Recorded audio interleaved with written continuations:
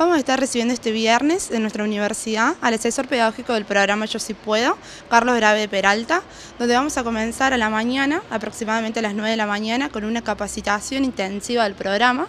Bueno, ahí vamos a estar viendo por ahí un poquito de cosas más metodológicas y el paso a paso de las clases. Y después vamos a retomar en el horario de la siesta con una charla en donde vamos a estar discutiendo la educación no formal y vamos a estar eh, ejemplificando con este programa. En términos generales, ¿cómo viene trabajando la Federación Universitaria en materia de alfabetización?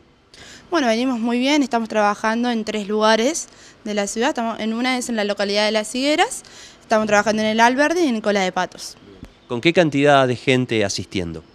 Por ahora están asistiendo aproximadamente 15 personas, con posibilidad de sumarse más, ya que ahora en el segundo cuatrimestre volvemos a hacer otros relevamientos por los barrios. ¿Y el promedio de la gente que asiste en edad? Y son todos mayores de 50 años. Tienen muchísimas ganas, mucha voluntad y bueno, y los cambios se van notando clase a clase. Ahora están haciendo un relevamiento, decías. Sí, vamos a iniciar un relevamiento la semana que viene por el Comedor Ilusiones para poder invitar a más vecinos a que se sumen a la actividad.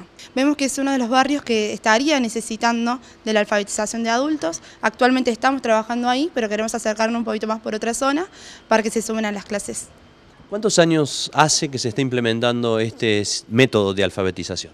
Como Federación Universitaria ya hace nueve años que lo llevamos adelante. Para nosotros como estudiantes, justamente como decía, de una universidad pública, es grandísimo. Poder devolverle un poquito a la sociedad que tanto nos da con pequeñas cosas, la verdad que es muy gratificante.